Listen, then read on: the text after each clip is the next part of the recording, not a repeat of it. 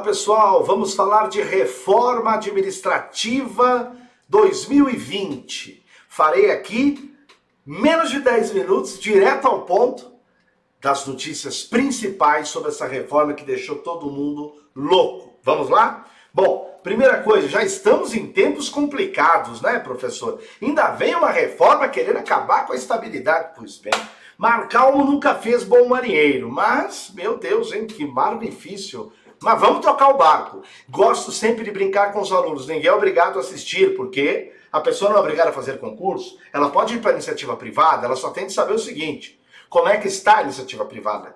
Né? Porque hoje um técnico por exemplo, um escrevente ganha 6 mil reais, um oficial de promotoria 5.500 reais com nível médio. Será que na iniciativa privada o diretor jurídico está ganhando 5.500 reais? Então assim, ah, mas se baixarem lá na frente, então se baixar para 4, eu estou falando um absurdo porque não vai. Então será que vale a pena? Decida. Mas o importante é você ter informações e não ficar ouvindo os outros. Professor, vai acabar a estabilidade para todo mundo. Isso é mentira. Você vai ter um grupo que não vai ter estabilidade. Agora eu pergunto: você conhece alguém que fez concurso da Caixa Econômica do Banco do Brasil? Foi mandado embora? Alguém da sua família? É, eles não têm estabilidade. Nunca tiveram. E aí? Veja, nós vamos ter modelo da PEC. Como assim PEC? A PEC é a, a emenda constitucional que virá. Professor, mas eu estava falando com um amigo meu, ele falou que juiz, que juiz? Essa PEC não atinge juiz. Essa PEC não atinge militares. Então eu não entendo esses vídeos de 5 minutos só para ver sucesso. Faz um sucesso enorme no YouTube. O cara grava em 3 minutos, um monte de informação errada. Isso aqui, vitaliciedade é para juiz, não é para servidor. Então esquece, não sei o que o pessoal está falando. A estabilidade pode ter cargo com e ter cargo sem. Vamos entender. Professor, quais são as carreiras? Esse é o problema. A PEC não fala.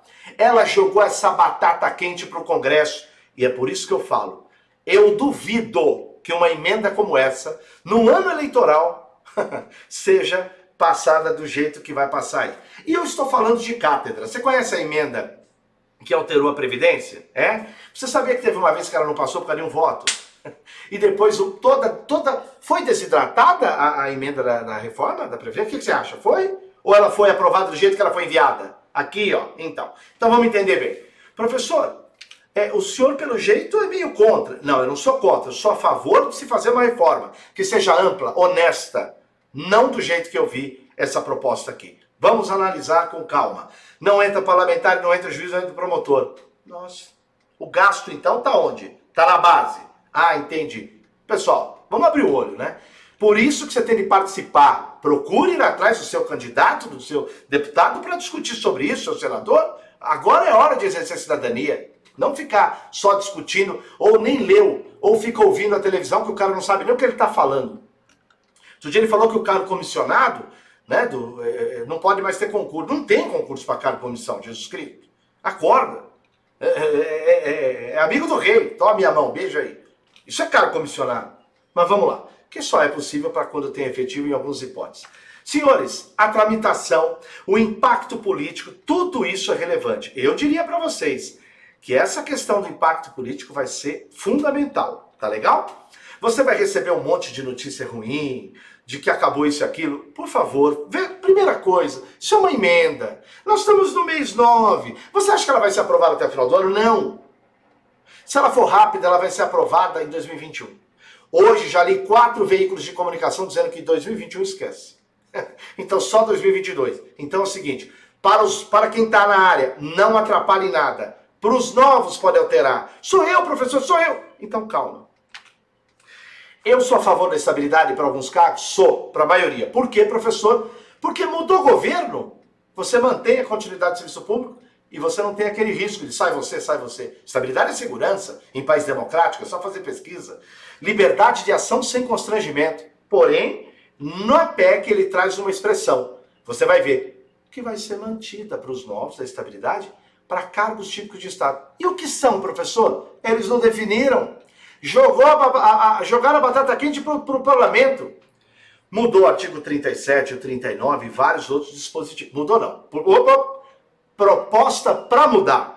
Duvido que essa proposta passe desse jeito. Olha lá, proposta em 2019, é, é, em 2020, Quando vai ser aprovado? Eu, para mim, 2021, primeiro semestre, esquece também. Mas vamos ver, vamos ver. Vai ser aprovada? Não sei. 100% dela? Não sei.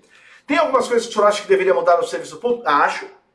Acho sim. Mas esses slides foram usados pela própria equipe que apresentou. Eles fizeram um trabalho muito importante. Não estou sendo irônico, não. Eles foram mostrando a importância do serviço público, mas mostraram uma coisa que a opinião pública gosta: o engessamento. Olha, nós estamos gastando 95%. E ou é previdência ou é folha. E essa folha está subindo. De, olha lá, de 44,8 para 109 bilhões. Aí a população fala, é verdade. Então, se desde 2014 nós estamos sempre caindo, e agora menos 11 por causa dessa desgrama, dessa doença, poxa, como é que nós vamos fazer? Nós precisamos diminuir gasto. Isso é um argumento que até para a pessoa mais contra do mundo é muito importante e inteligente. Porém, vamos com calma. Então vai falar o quê? Tá vendo como está faltando dinheiro para o hospital? Estraga.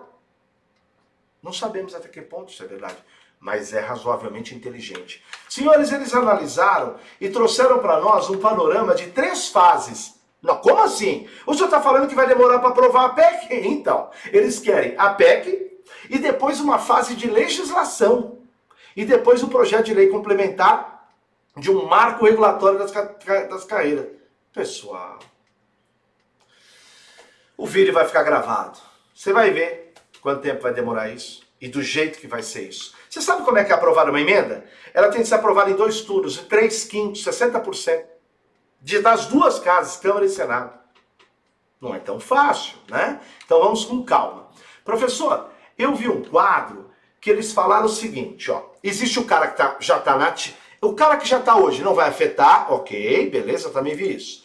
Só que aí ele vem aqui depois e fala que vai ter um cara que vai ter estabilidade. Professor, é esse cargo de, típico de Estado.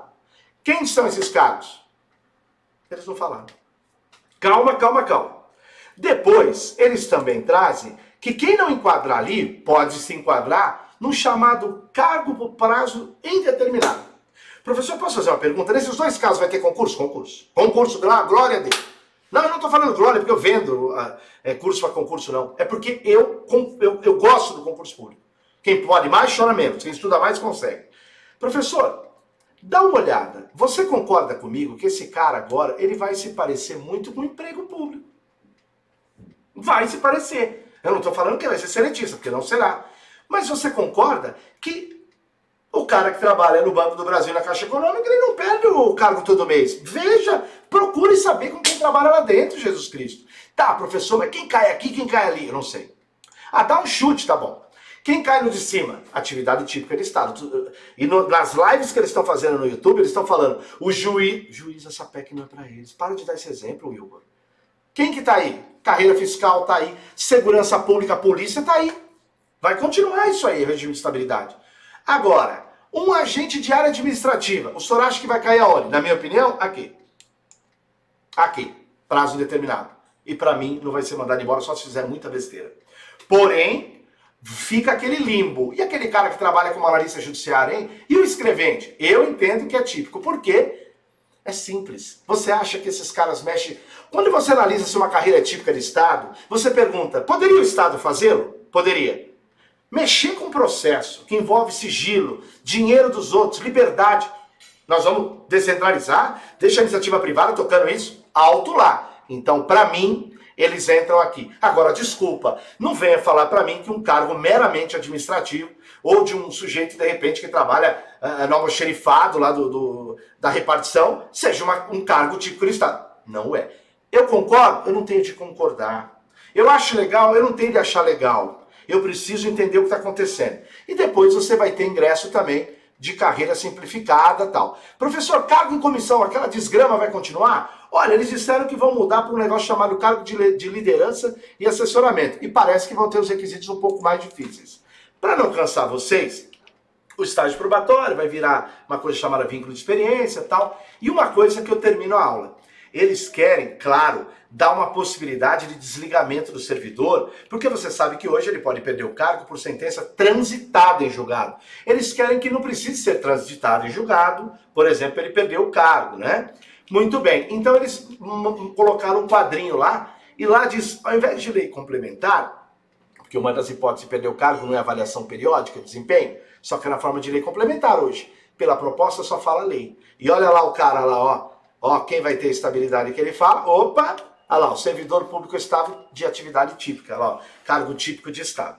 Senhores, eles fizeram, mudou até o nosso LIMP, ó, e colocaram, mudou não, pretende mudar até o nosso LIMP, colocaram um monte de princípio a mais aí que eu já até fiz um, um mnemônico, olha lá, senhor Bolsonaro, curti, limpei, dá para fazer toda. Mas o que eu quero dizer é, nas explicações a equipe também mudou, mudou não, mostrou vários é, direitos, distorções que tem na administração e que o povo olha e fala, é verdade. Pô, tem cara que tem férias, mais excesso, tem não sei o que de licença tal. E eles fizeram tudo isso. Volto a dizer, reforma, se fosse realmente a vontade de mudar as coisas, seria ampla. Abrangeria MP, abrangeria o desembargador, o procurador, os caras que podem bater 150 mil por mês. Vamos ser sinceros e parar com essa hipocrisia. Bom, aí eles fizeram todas as análises e depois colocaram o, o, o, o de algumas mudanças que pode ver em termos de aumento da autonomia do presidente da República e por aí vai. Galera, eu me despeço, prometi para vocês que ia fazer uma, um vídeo bem direto ao ponto. Agradeço. Por favor, se quiser dar like, dá. Se quiser dar dislike, dê. Se não tem nenhuma questão ainda resolvida, isso é, um, isso é uma emenda constitucional que vai ser discutida. Quer parar, vai para a iniciativa privada, boa. Não quer, continua, mas por favor, entenda o que mudou. No meu sentir, muita gente só queria um motivo para parar. Não faça isso se você realmente quer, seja estudando conosco ou não estudando conosco. Siga firme, nós vamos fazer sempre conversa, aos sábados, sempre costumeiro fazer conversa ao vivo às 14 horas. E a gente tem os vídeos aí do canal. Por favor, entre em contato, vamos conversar. Mantenha firme o teu propósito. Tenha fé em Deus e eu tenho para mim que muito disso aqui vai acabar em ralo e nós vamos tocar o barco. Senhores, eu agradeço a atenção de todos. Muito obrigado. Fiquem com Deus. Galera, gostou do vídeo? Que bacana! Então clica aí, né? Dá uma curtida, faz um comentário se você puder inscreva-se no nosso canal do YouTube. E deixa lá no, no sininho, ao clicar, você recebe as mensagens também de notificação. Visite nosso site e conheça nossos cursos preparatórios para concursos públicos. Muito obrigado!